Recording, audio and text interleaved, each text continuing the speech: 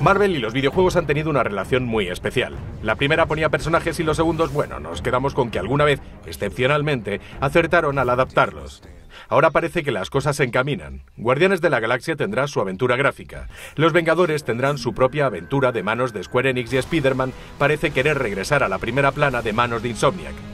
Ahora que estamos en momentos de cambio, ¿qué juegos nos gustaría a todos ver con los Marvelitas como protagonistas?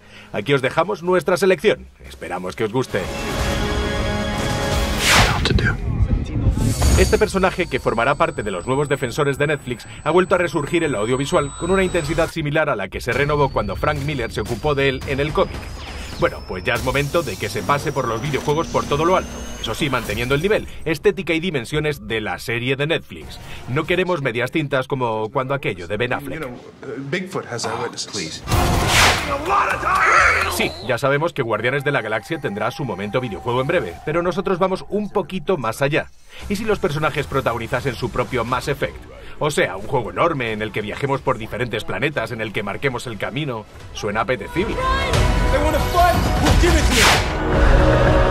No sabemos cómo debería ser un juego basado en estos cuatro personajes, y vemos difícil que vuelvan de momento. Pero ya con que se esfuercen bien poquito, conseguiríamos un juego que otorgase a los 4F más dignidad de la que han recibido en los últimos años, con películas desastrosas y videojuegos que tampoco eran mejores. Algo alocado y con estética pop no le quedaría ni medio mal, aunque a estos cuatro cuesta tomarles en serio.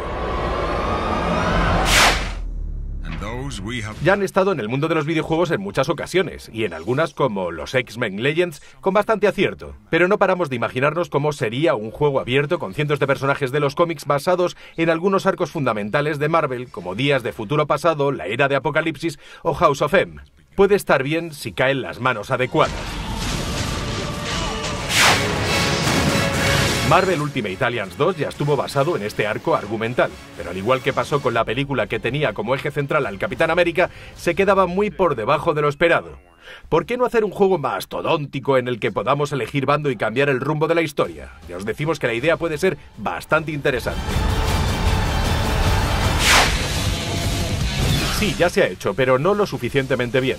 Los juegos de Iron Man que acompañaron al lanzamiento de las primeras dos películas eran bastante pobres en todos los sentidos. Ahora plantear esta aventura como un Arkham Asylum en el que se muestra todo el carisma del personaje y en el que le vemos actuar de forma más libre... ¡Ay, quién te pillara así, Tony Stark! Volvemos a las mismas de siempre. A estos personajes parece quedarles que ni pintados el rollo mundo abierto.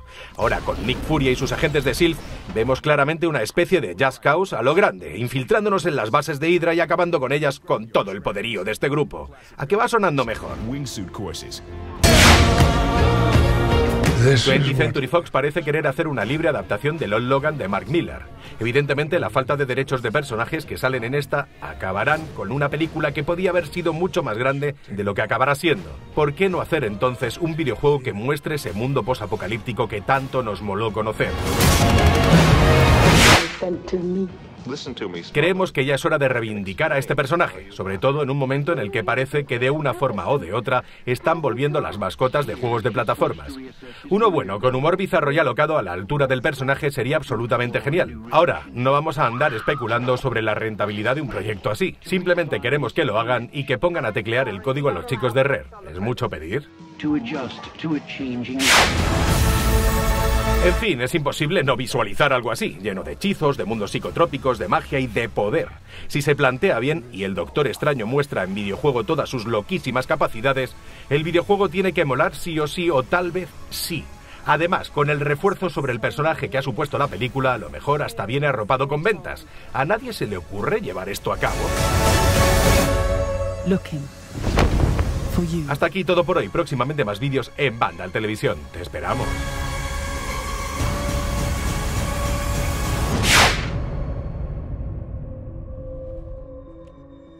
Uh, what's this? My mom?